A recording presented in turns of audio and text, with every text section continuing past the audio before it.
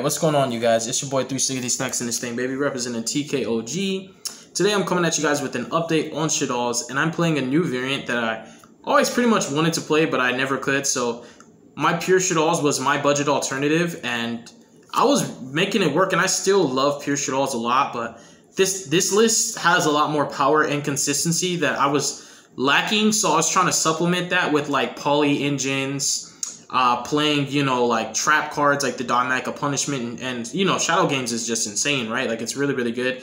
And just like trying to play more fusion outlets because Shaddolls are more powerful, uh, especially going second when you're able to access multiple fusion spells. That's how I was able to dominate a lot of my matchups. So today I played um, basically nine rounds, six in Swiss and three in the top eight. I finished second place um, and I dropped one game in Swiss and I dropped one game in the finals. That's how I ended up getting second place. Um, but the deck pretty much performed extremely well. I mean, I always pretty much do good with Shaddolls. Um, there was a lot of Shaddoll players that I've never seen playing Shaddolls before. I saw people literally before the tournament started buying Shaddoll cards from vendors and sleeving their cards. I was like, dang, the bandwagon is real. They top one event, people going crazy. But I um I was not expecting that. Like just knowing that there's so many at that locals makes like every like mirror match is pretty long, even when you know what you're doing. Um, but before I get into my deck profile, I want to say like, comment, and subscribe if you haven't already. Uh, click the notification bell so you can stay in touch with me and never miss a single upload. And if you want to support my channel, whether you buy my merchandise or donate to me through Patreon or any form that's in the link description box below, or if you just want to join my Discord and become a member of the community. There's so many ways that we can interact with each other, and all those things are beneficial for you and beneficial for me. And if we both eat them together, I see no problem with that. Um, but with all that said, I'm going to show you my tournament report, then I'll get into my deck profile. So first round I played against Dinos. Not much to say about that uh, against that like about that duel. I 2 0 the Dino player. But I'm not gonna lie, I know you guys probably if you're not speaking from experience, you wouldn't know what I'm talking about. But when it comes to the Dino and the Dragon Link matchup specifically, this deck has very favorable matchups against those. It doesn't matter if I go first or go second. I this deck consistently outs the whole Dino board, consistently outs the whole Dragon Link board. I pretty much did not drop a game against any. I played Dragon Link and Dino today because those decks, Dino and Dragon Link, are pretty popular. I did not drop a game against those decks. Like I clapped those decks, and this deck actually consistently outs their turn one boards, even if they full combo and don't mess up. Shaddolls are just that powerful. And going first, I have my own win conditions that they have to draw. Like like when I go wombo combo and I set up multiple ways to Winda, like with my Contra combos and stuff like that, I have a way where I can get Schism, El Shaddoll Fusion, and Resh, so that if you have a Dropless or Dark Ruler for Winda number one, Schism can summon Winda number two, and if you miraculously out it, I can still Resh Shaddol Fusion. I mean, Resh Shaddol Incarnation to the third pseudo copy of Winda, uh, which is pretty cool. Um, so I just feel like um, going first, I'm already gonna dominate those matchups, and going second, I actually was clapping their cheeks, bro. Like I outed Savage, um, the Hot Red Dragon Archfiend Abyss Synchro. I outed Seal and Dragon Maid Tiding, and I believe he had Ash Blossom.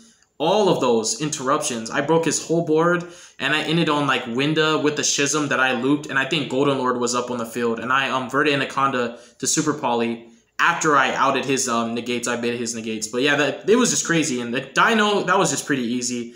I'm not gonna lie. Not trying to like sound like Dino's not a good deck, but it was it like it's the Dino matchup's easy. UCT doesn't do anything to your deck.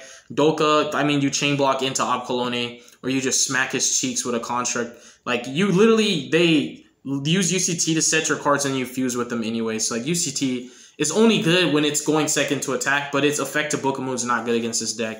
Uh, and then round two, I played against my friend Lacelle. He's playing Zodiacs. Um, that was a 2-0, but I don't want to make it sound like, um, you know, mean because that's my friend. Uh, it's unfortunate when you play people that you know. Uh, round three, I played against a stun deck. So game one, he I played through his traps like crazy. I was just making him flip them back to back. He Judgment, uh, I played through Judgment, Strike, Ash, and then three Ice Dragons Prisons. And the third, the third Ice Dragons Prison was what actually ended up closing the game because I was trying to like focus more on Shaddol Incarnation than Fusion Summoning. I was trying to keep my resources intact from my extra deck, and I was just trying to see how far I can get with looping one construct off Resh. But he kept Ice Dragons prisoning it. It got to a point where I had to use my own set Squamata to pop my um, construct to get the Resh back, but he put me way too far behind. I guess in hindsight, I should have just went for Schism or El Shaddoll Fusion, but I just kept looping Resh, and um, I lost game one, unfortunately, because of my lack of better judgment. And then the next two matches were just clean, clean, clean. Like, bro, I did not mess up again. I was like, Resh ain't working? All right, bro. So I ended up OTKing him the second match and the third match. I played through all his traps. I didn't draw evenly, Feather Duster, Reboot, nothing. I just forced all the traps with fusion spells and Dragon and Dogmatika cards and Invoke cards. It was just crazy. My fourth match was against Dragon Link. That ended up finishing in a draw, but I will say that I had control of the duel. Like, I outed his whole board, bro. Like, you guys have to understand how long his turns took. Like, it took me le like less than half the time to break his board than it did for him to make it in the first place. But we ended up drawing, but I did beat him in top eight, so I ended up clapping his cheeks anyways. And he was just like comboing, bro, and I was still breaking his board. My fifth round PK Fire, um, I got too old by him. The only good hand, the only hand that I drew that had like a, even one spell was the hand that had like Shaddoll Fusion, Gamma, Foolish, uh, Windy, and a Dragon, I think. I ended up gamming him because he had Apollousa up and I was trying to stop the Apollousa, I mean, stop the Viridian Anaconda from resolving to get Dragoon. Because if I activate Fusion, he changed um, Dragoon, I chain Gamma, he changed uh, the Apollousa, I lose. So I didn't know I was going to top like something good, but he ended up letting it resolve. He talents took my Fusion and I lost. So 2 0 Checking the timer here, like six minutes in. And yeah, the other game, I drew like three Shaddolls, I think. Three Shaddolls, a Shaddoll Core, and some other random card. I drew nothing really playable at all. The only playable hand I drew, I was going second, and I thought I was going to win. But once he put up Apollousa and then went into his Dragoon and he had the Fog Blades, I started trying to Gamma him, and then he just let it resolve so he could Talents me. And I was like, dang, bruh. And then my sixth round was my first Shaddoll Mirror match. Um, he was playing Dogmatika Eldritch Shaddolls, and I was playing Invoke Dogmatika Shaddolls, and um, I just clapped his cheeks. I could talk about mirror match all day. I'm actually uploading a video on that where I played a Shaddoll mirror match where you guys are just gonna learn. Like I've like no cap. I'm not trying to say I'm like super nice. I've never lost a mirror match. I've played against Pack. I've played against um no, I didn't play Shaddolls against Couch. I can't really think of other Shaddoll players that y'all know that I've played, but I've never lost a mirror match. I've smacked the best of them. Um, the longest mirror match I played was actually against Pack. It was like two hours. It was freaking crazy, bro. And I was playing pure Shaddolls. He was playing trap Shaddolls. Now I'm playing a totally different variant. But yeah, I 2 0 him. I just know the mirror match so well. I can literally win the mirror match with flip effects. And I'll rarely fusion summon. Or I'll win the mirror match setting up Schism with Meltdown. And the tricks I was doing with my Meltdown is when my opponent would activate a fusion spell, like Shaddoll Fusion, I would purposely play in the Shaddoll Fusion. I wouldn't even mind them summoning Construct just to dump the Fusion because I want them to burn the resources because I knew that I was not going to get OTK'd. And so when their opponent activates a Fusion spell like Shaddoll Fusion, you play into it on purpose. I know it sounds crazy. People might be like, oh, three stacks, you don't play into Shaddoll Fusion in the mirror match. There's no way to win the mirror match without playing into it, unfortunately. Um, but how I ended up doing it was I would chain, you could chain Schism. Like when your opponent activates Shaddoll Fusion and you have Meltdown, you could chain Schism or El Shaddoll Fusion, either El Shaddoll Fusion or Schism, just an effective fusion. And then you're basically gonna summon your fusion monster, and then their Shaddoll Fusion resolves. And because Meltdown's up, when you have your Construct or Apkallone that you summon, all the Shaddolls that they use for their fusion can't activate their effects, and the Construct or the Apkallone that they summon cannot activate its effects because Meltdown's up and it, they're in the same chain link as my fusion monster being fusion summoned. So I was smacking the mirror match like that. Like Meltdown made it easier. When I didn't have Meltdown, I had to work a little harder. But I know this deck like the back of my hand. I've been playing dolls since like 2015. The mirror matches were not as hard back then. They're a lot harder now because of Apkallone and Winda. But I mean, Ariel was my friend too because I played another mirror match in top eight and I banished all of his constructs and then I banished his Ariel so that he couldn't even use Ariel to bring his banished constructs back. I like knew what he was gonna do. I was like always a step ahead. I always knew what my opponent could do before they did it because I know every possible thing they can do because I play the same deck, but I play longer. So it's like there's nothing they could do that surprised me. Even in my one that I uh, in top eight, which was my second to last, because after that was finals, I got super poly twice. I did not drop that game. I 2 0'd him as well. So like when it comes to the mirror match, even though it's annoying, like I'm super confident. I've never lost a mirror match. Like, and that's just facts. Uh, but I ended up playing against Dragon Link again in top eight. I got my revenge. I smacked him. Uh, I broke his whole board. Like I said, he had like Savage, Red, Hot Red Dragon, Archfiend Abyss, Seal, Tiding. I broke the whole board. Uh, and then I played the Shaddoll Mirror. Like I said, that was another 2-0. He was just playing Dogmatika Shaddolls, not the Eldritch cards. And then I finally lost in the finals against PK Fire. Um, we came down to an hour-long duel. There was no time limit. And he summoned Arc Rebellion. Uh, and I had Apkallone and Golden Lord and like two set Shaddolls and he gained like 5,000 attack. I was at 5,300 life points, and then he went 8,000 into a 2,500 Apkallone. So that's how he got me. But that's the tournament report. Sorry if it's annoying to you guys, but it's just part of like me doing the profile for locals. So with all that said, let's go ahead and get into the list. So for the Shaddolls, uh, let me go ahead and slide these over here. Uh, I played three copies of Squamata three copies of Wendy. These are the best Shaddolls to play. Honestly, Squamata is like the man, right? Like Squamata is just literally the best Shaddoll. In the mirror match, I seldom use him because unless I'm sending a spell or trap, I don't really use him that much. I'd much rather just send the card that he would send, if that makes sense. Like I've seen people go construct to send Squamata. I get it if they're trying to load their grave for Schism, but if they're not, it's just a waste of effects because in the mirror match, the amount of Shaddolls you have left in your main deck and your extra deck are going to determine a lot because when your opponent is smart, like when I'm like me, I'm pretty smart this deck. I'm always going after their grave with the Ariel. I play multiple Ariels and I use Apkallone to re-add the Ariel from grave and discard it and trigger it again.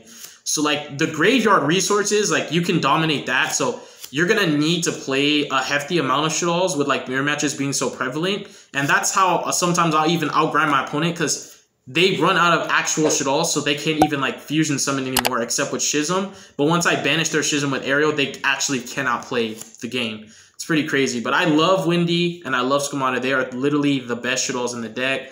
Uh, three Wendy is insane. I know some people play less, but these are my ratios and it works for me.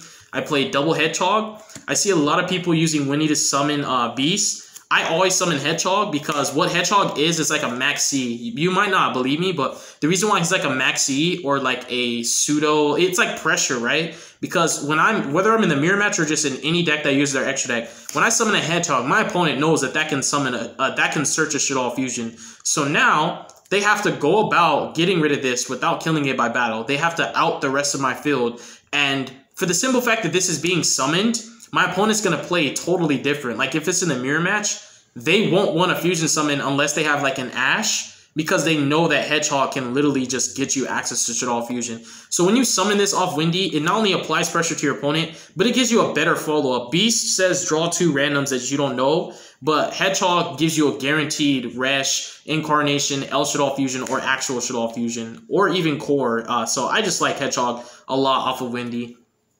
And then I played uh, double Ariel. Ariel is just way too good to play one of. Um, I actually burn through both my Ariels quite often, and you have to just resort to using Apkallone to re-add it and then discard it and banish at that point. Um, so yeah, Ariel is super duper important. Uh, the cool thing with Ariel in the mirror match including is when you're using El Shaddoll Fusion to fuse with this in draw phase, you can force your opponent either to activate L if they have it, or if they're on Schism, you can banish pretty much all their targets. Um, a lot of them are starting their turn with two to three Shaddolls engraved, so I'll just banish those and I'll just hit a random like light attribute so that they can't temple swing me with construct. Uh, so Ariel's just insane, you guys. The card is just freaking crazy. Including his effect to bring back from Banish Zone. Like sometimes I go Schism, summon Construct, banishing a copy of Construct that I already had engraved, send Wendy, summon Ariel, and then I flip the Ariel to bring back the Construct I banished off my Schism, so I set myself up for that. Uh, and then I played Double Dragon. Dragon is pretty insane. Like, he puts in a lot of work. I actually got the supers. Um, yeah, I like playing multiple dragons. Uh, like, I've burned through these pretty often. Uh, Dragon is really, really, really powerful, you guys. To be honest, um, you're more than welcome to try less Shaddolls, but I really like my ratios. Uh, they're just really amazing. Like, I play these because they come up, and I personally enjoy it a lot. Um, Dragon is freaking insane, you guys, including in the mirror. Sometimes in the mirror match, and I'm talking about mirror match because I they're so popular, especially on Dueling Book. When your opponent's on Apkallone or Construct and it's up, you just summon Dragon, flip it, and then bounce their Apkallone back so that you don't have to give them the resources to get over it. You either do that or with your meltdown up, you just use Schism to summon a dark, send Apkallone, and it won't be able to activate its effect because you will be triggering it in the same chain link as like your Apkallone. And since your Apkallone's activating its effect and it's being special because of meltdown, they can't use their Apkallone's effect. And then for the final Shaddolls, I played one copy of Beast. I just really only one, bro. Like I just I'm not really like trying to hard draw a buttload of dolls and like keep fusion summoning over and over and like keep replacing it. In a more combo centric build, you want multiple beasts because every time you fusion, you want your cards to replace themselves. But in this deck, uh, you're really conservative, and a lot of the explosive plays happen when it's necessary. And if not, you're just kind of playing mid range the entire time, and that's how I was doing it. And then one Falco. Oh, the disrespect to people cutting Falco. Falco's my boy. Like Falco just wins games. Like Falco to bring back your fusions, Falco to bring back your Windy when you're grinding, or even like when you you're about to get like your opponent's going ham and they just start putting a lot of damage on board. There's places where you can go like Windy into Falco, Falco into Ariel, and then Ariel into a banished Apkallone and that uh, Apkallone cannot be destroyed by battle. So now it's just there, and anytime you could just send it to grave and get a free resource. So like Falco is just insane, including the loop with uh Resh Incarnation with Falco and Apkallone is just super on point. Uh, like there's an infinite resource loop that I made myself with this deck where I can recycle my whole extra deck just keep recycling my extra deck and use the rest to keep recycling the rest and use Falco to keep recycling the Apkallone. And Apkallone will just keep adding the construct from the graveyard to the extra deck and I don't have to discard and I keep getting constructs back so my Schism can keep summoning and sending. It's just ridiculous. Uh, and then I played uh, three copies of Shaddoll Fusion. So I'm showing the Shaddolls first because they're most important in my opinion. And then I played, uh, I'm just checking time. I played 3L. I think L is really important at 3, in my list at least. Um, I like opening at least one fusion spell. I can.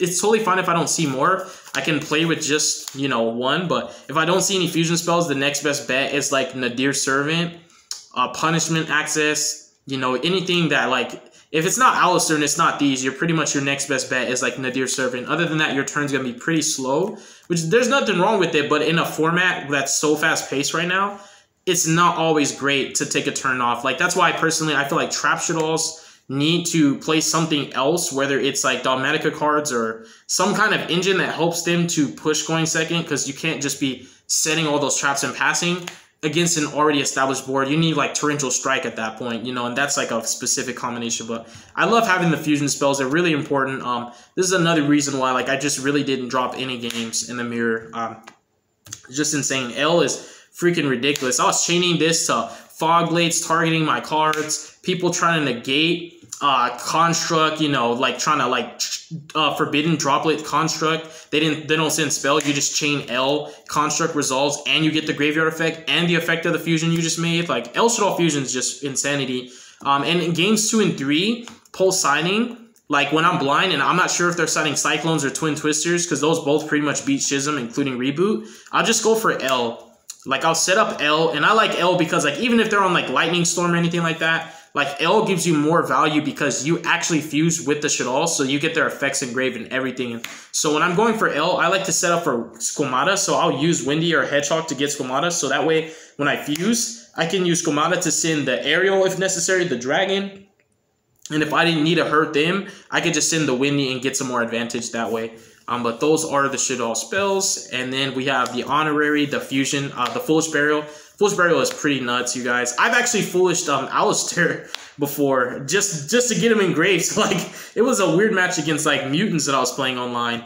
And uh, he had that mutant that negates it, that not negates, but banishes monsters. And I just like foolish my Aleister because I knew if I normal him, he'd get banished, but I get invocation. Foolish is insane in this deck. It's like every Shaddoll effect you could think about. It's pretty, pretty darn crazy. And then one of each of the Shaddoll traps, um, there is actually an infinite resource loop that I was talking about with Resh Shaddoll Incarnation itself. Uh, not looping construct. Like I like looping construct, but the infinite resource loop that I'm talking about is you're actually using Resh to target Apkallone, summon Apkallone, perm negated card, make your opponent work to get rid of it, and when they do, you just go effect, add core from grave. I this is why I like playing core. Add core from grave, discard core, core effect, add resh, and you just keep doing that and once you get more resources up and what happens is you start using Apkallone to put Construct back into the extra deck.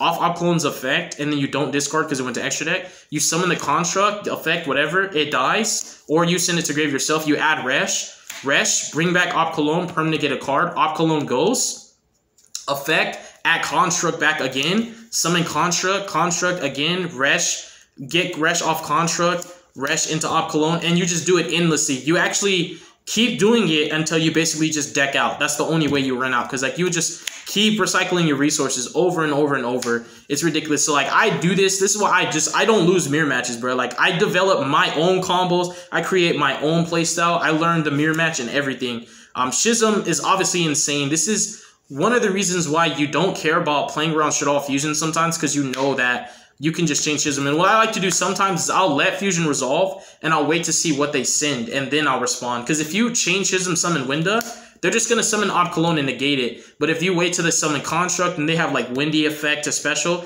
you can change Schism then and summon your Winda. So you could lock them out for the rest of the turn to that one special, force them in the battle phase, and then kill your Winda and you can just get cards back. These cards are all insanity, including Core. Like Core off of um, the Apkallone is just freaking insane, you guys. But yeah, those are the Shaddoll cards. Uh, just checking time here. And then now let's go ahead and get to the invoke cards. Uh, so Meltdown is just freaking insane in Shaddoll. So with Meltdown up, your fusion spells, when they resolve, all your effects under them are spell speed 4. Like, you can send Dragon, your opponent can't respond with the back row you're popping. You send Ariel, your opponent can't chain Sanguine to summon the Lord. Like, you're literally banishing Lord and there's nothing they can do about it uh, including in the mirror match. This card's insane. Every time your opponent fusions, you chain your own fusion, and you make all their effects not able to activate in a separate chain because they're in the same chain as your summon, which is freaking broken. That's why I just, again, I was just like dominating my mirror matches. Like, this card's insane. Uh, as well as the one Optimus Prime to get consistency.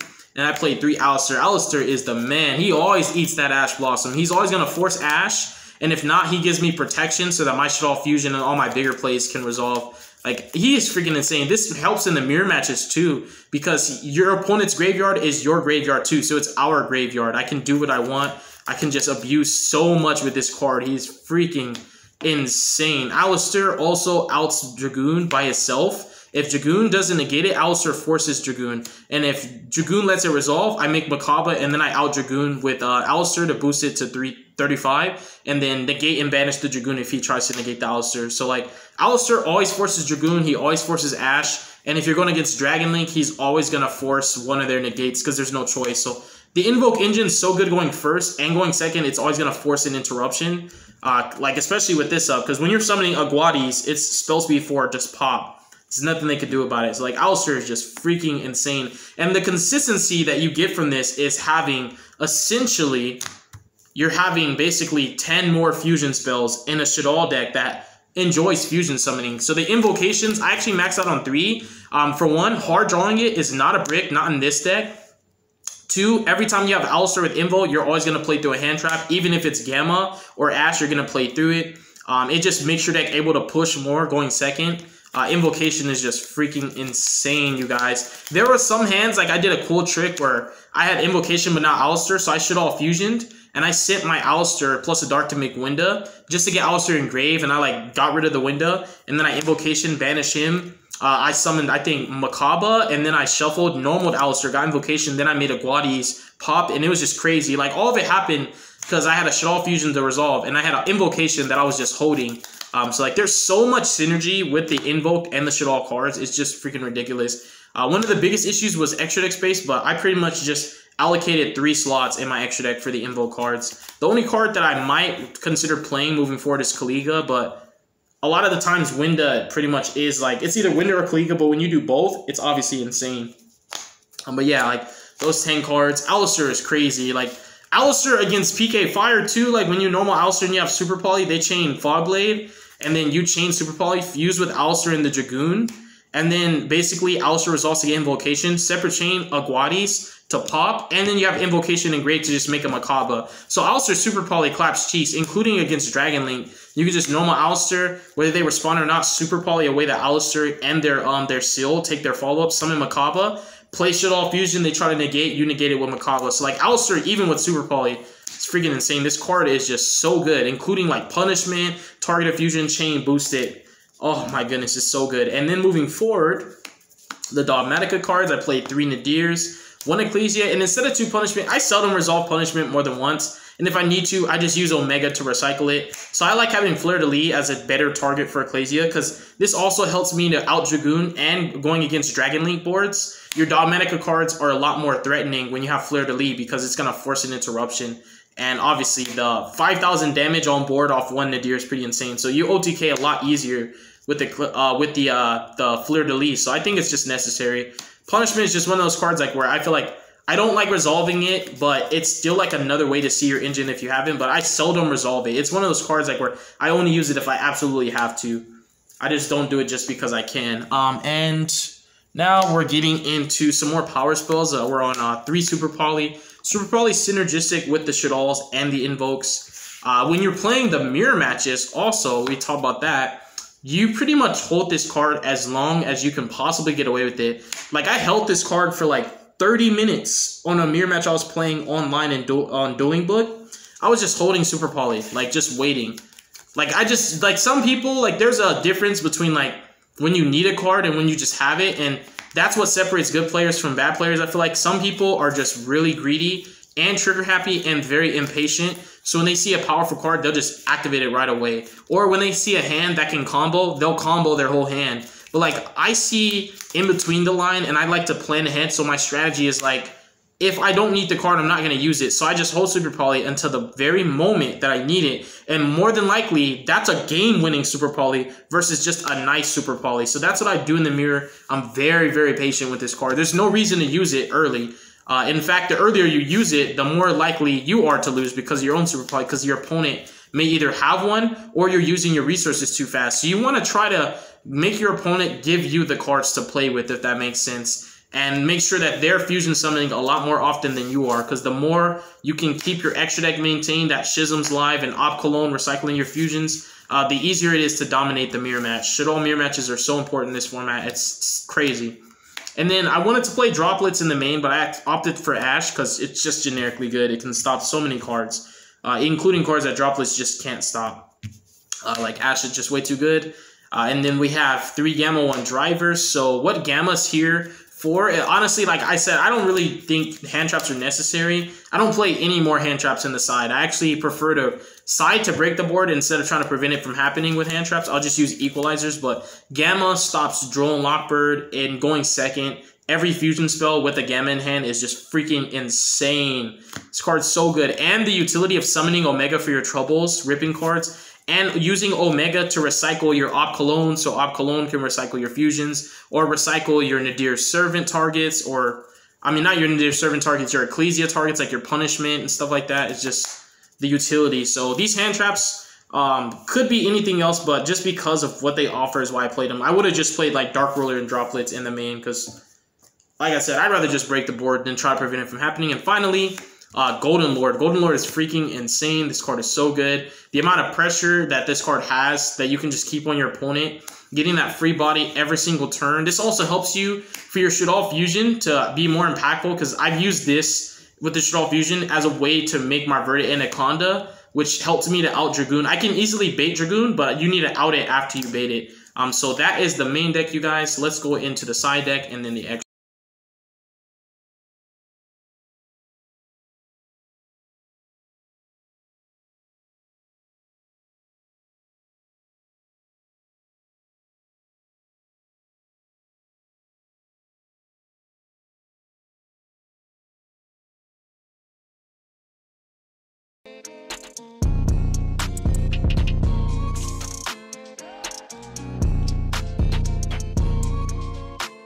Extra is three construct. This card can never be power crept. She is insane.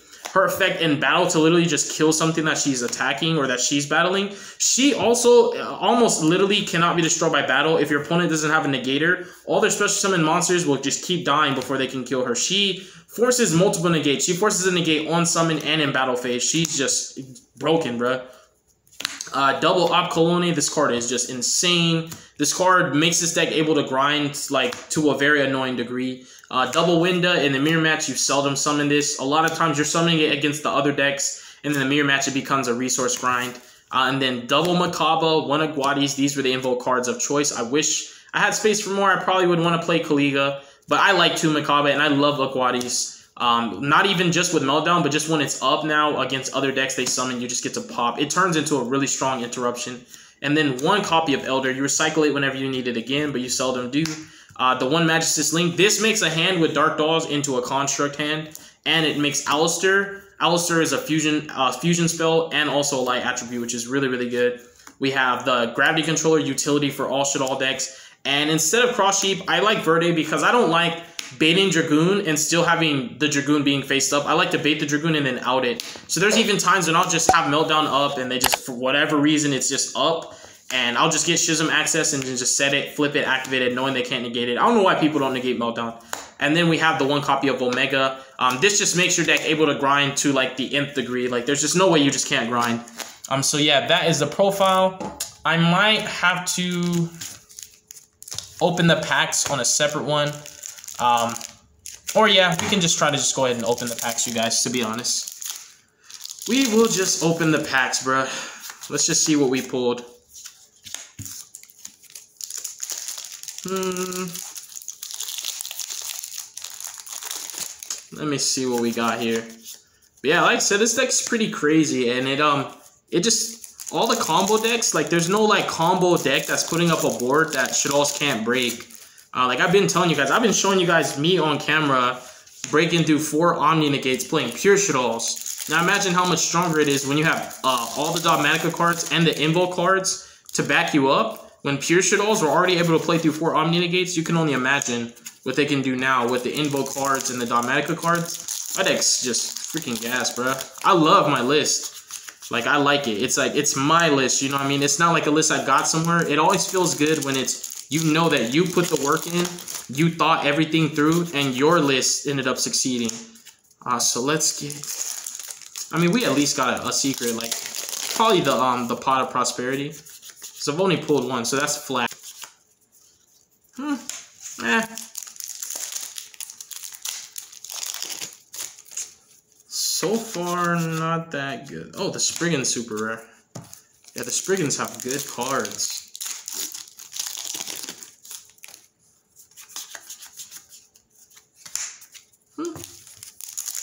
We're probably gonna get another secret. I mean, since these are randomly pulled, gonna get like a, a really good secret. Uh, the Metalfoes. I got my Metalfoes list made. I really want to just throw some droplets in there because the combinations and all that. And like all the Metalfoes spells and traps, they're either recyclable or they have graveyard effects. So I feel like Forbidden Droplets would be pretty nice in that deck. It's like a good supplement for like not having to play hand traps. Coming down to the last few. Dang, I got me a couple kits now. Just two more packs. No matter what, it was free. Dude. And then, drum roll. Last pack. Thank you, Lord Jesus. Let's see. Oh, it's the Fabled Synchro. Okay, at least I got a secret. I mean, it was 16 packs. It'd be unfortunate if I didn't get a secret, but yeah, you guys. Yeah, boy. So, as you guys can see, I got at least one secret out of my packs. Not too bad, not too shabby. Um, so I think moving forward, um, there's just some minor changes I'll make to the side deck. The extra deck is staying the same, and so is the main deck. There's nothing I really want to change. I'm very satisfied with my ratios. Uh, my deck just performs extremely well. I like it. My, my list is pretty crazy. But yeah, you guys, with all that said, Jesus bless you guys and peace.